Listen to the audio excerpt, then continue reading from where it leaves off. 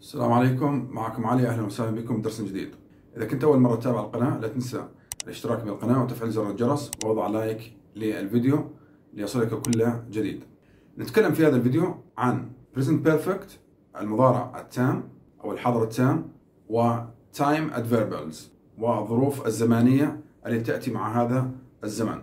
مثل عندنا usually sometimes yet never already just since for. إذا نتكلم عن كيفية استخدام هذه الظروف مع هذا الزمن بشكل مفصل بحيث أستطيع أن أستخدمهم بكل سهولة ويسر إن شاء الله. نبدأ مع since for.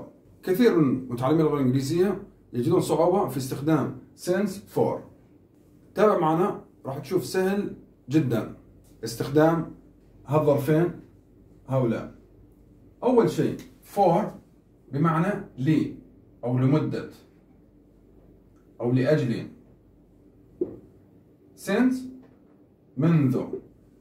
من ذاك الوقت أو من ذاك الحين. بالنسبة لترجمتها for يأتي بعدها the period of time يعني الفترة الزمنية التي استغرقها الحدث. فترة زمنية. since a point in time.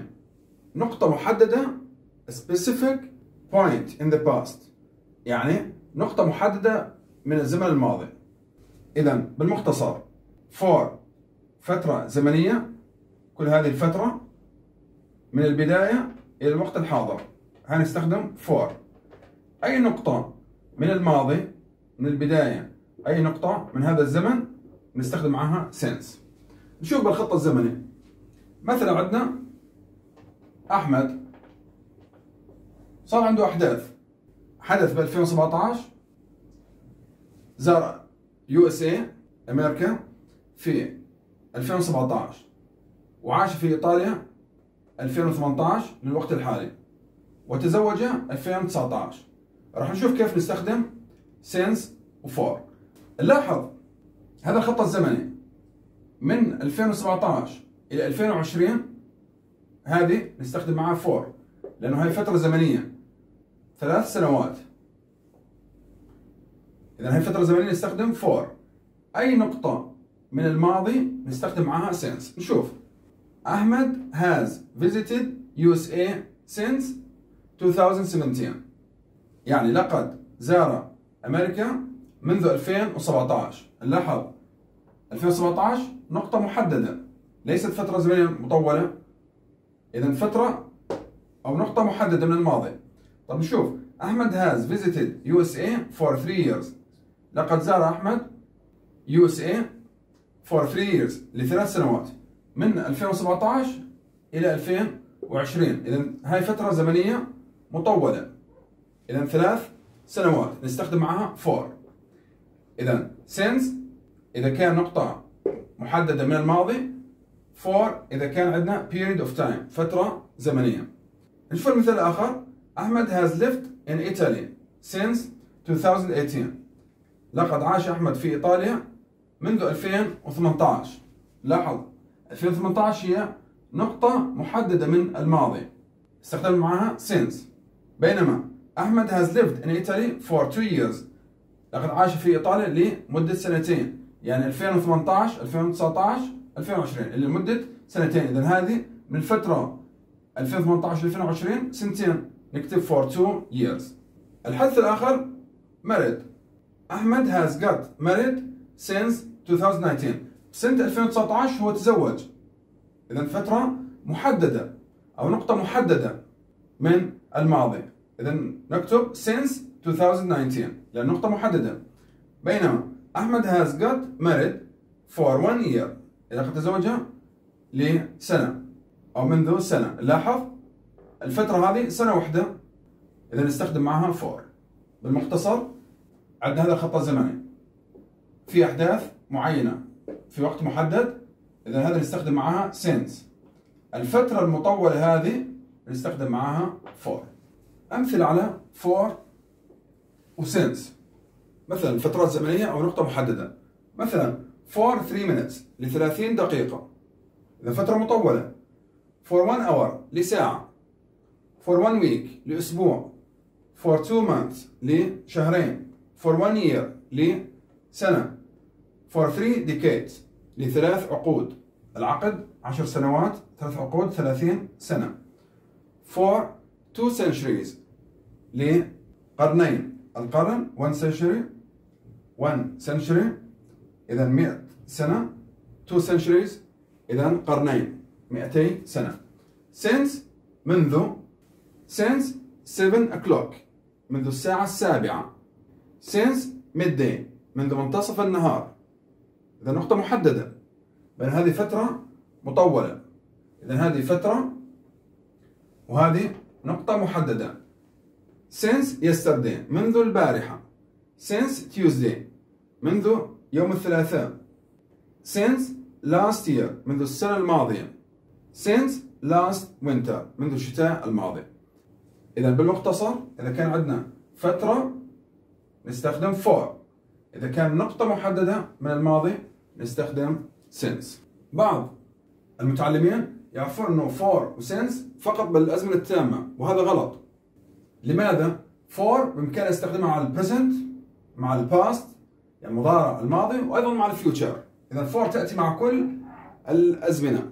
بينما since فقط تأتي بالأزمنة التامة يعني يكون المضارع التام أو الماضي التام أو المضارع التام المستمر وهكذا من الأزمنة التامة. إذا since فقط تأتي مع الأزمنة التامة.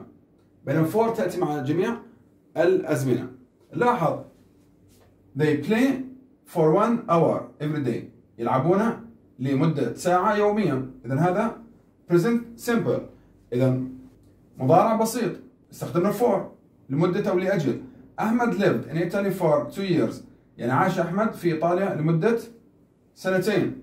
هذا past simple. أيضا استخدمنا for لمدة أو لي they will visit USA for three months. سوف يزورون أمريكا لي يعني لمدة ثلاث أشهر. إذا استخدمنا أيضا for. أحمد has lived here for 10 years. لقد عاش أحمد هنا لمدة عشر سنوات. أيضا استخدمنا for.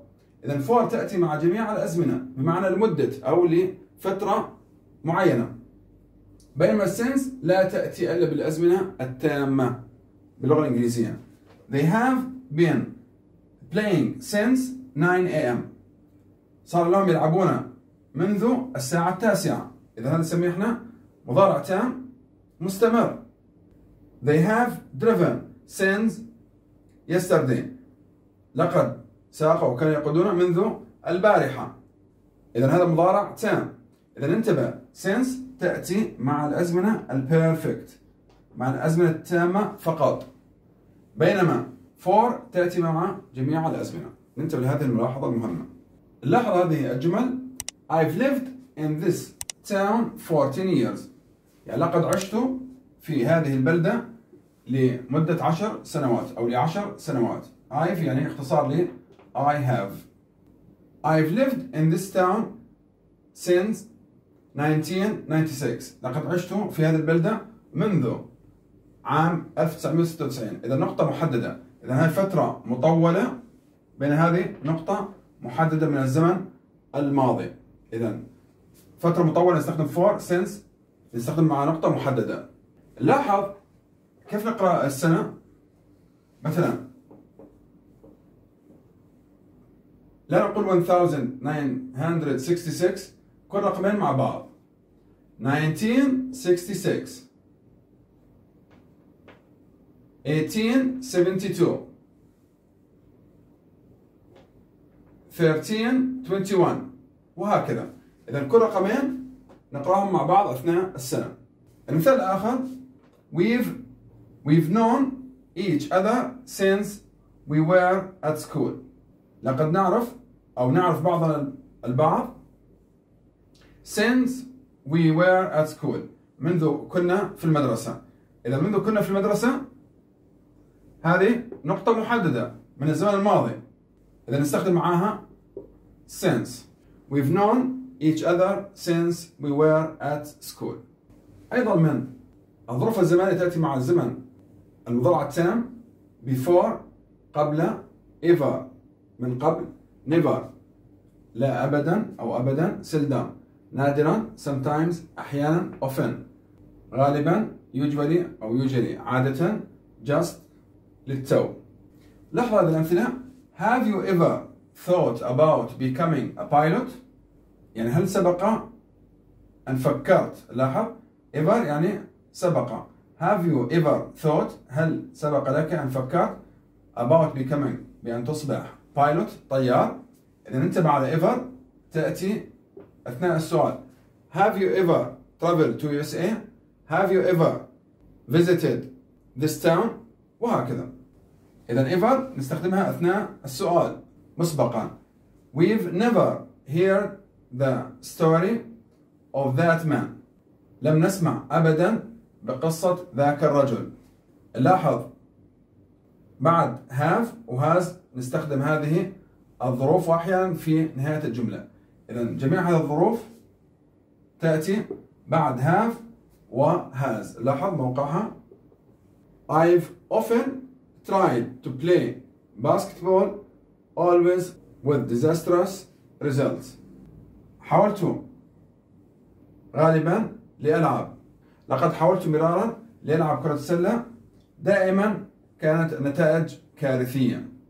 Results نتائج disastrous كارثية. إذا ننتبه هذه الظروف أيضا أستخدمها بالمضارع التام وتأتي بعد have وهاز لأن نعرف إحنا have وهاز والفعل بالتصريف الثالث. هذا موقعها في الجملة أو أحيانا تأتي when في نهاية الجملة. وننتبه ever نستخدمها أثناء السؤال بمعنى مسبقا أو من قبل. لاحظ أيضا already مسبقا أو من قبل yet بمعنى بعد أو حتى الآن. تستخدم yet مع النفي والاستفهام. ننتبه أيضا ever من قبل أو مسبقا تستخدم مع السؤال. لاحظ I've already used this car. لقد استخدمت هذه السيارة من قبل. Have you used this car yet يعني هل استخدمت هذه السيارة قبل؟ أيضا ممكن نستخدم ever بهذا المكان. Have you ever used this car? يعني هل استخدمت من قبل هذه السيارة؟ إذا أثناء السؤال نستخدم ever. I haven't used this car yet. يعني لم أستخدم أو أستعمل هذه السيارة بعد. لاحظ yet تأتي في نهاية الجملة. أثناء النفي. إذا انتبه already مكانها. بعد have و has بينما yet تأتي وين في نهاية الجملة؟ بمعنى بعد وتأتي مع الاستفهام والنفي. بهذا الشكل انهينا درسنا لهذا اليوم تكلمنا فيه عن الظروف الزمنية التي تأتي مع المضارع التام. تكلمنا عن since for sometimes usually ever already just وهكذا من الظروف الزمانية وتكلمنا عن طريقة استخدامها وكيفية استخدامها في الأزمنة ومع المضارع التام. أتمنى قدمت شيء للفائدة إذا عجبكم الفيديو لا تنسوا الاشتراك بالقناة وتفعيل زر الجرس ووضع لايك للفيديو وترك تعليق في نهاية الفيديو ليصلكم كل جديد. دمتم بخير. والسلام عليكم ورحمة الله وبركاته.